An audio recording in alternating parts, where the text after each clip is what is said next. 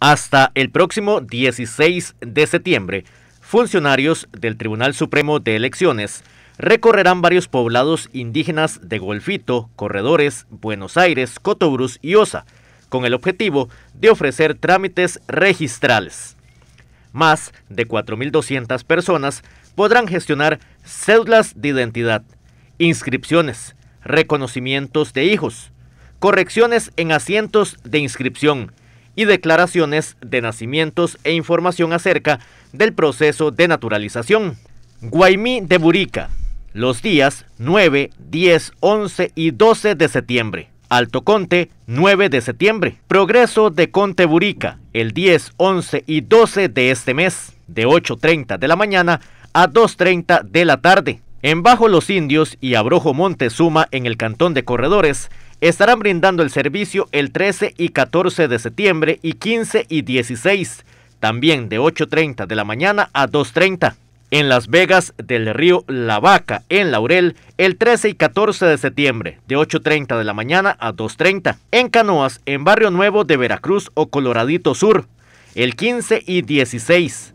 Y también en Canoas, solo el caserío indígena de Alto Brujo, el 16 de septiembre, también en el horario de 8.30 a 2.30 de la tarde. En Buenos Aires de Punta Arenas estarán en la zona de Chángana, en Caño Bravo, el 10 de septiembre.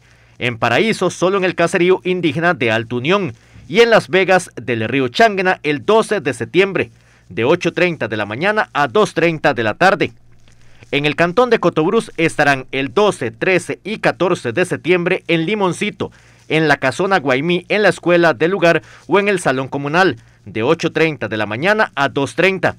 Y en Bahía Draque, en Osa, estarán en Alto Laguna y Rillito de Sierpe, el 15 y 16 de septiembre, de 8.30 de la mañana a 2.30 de la tarde.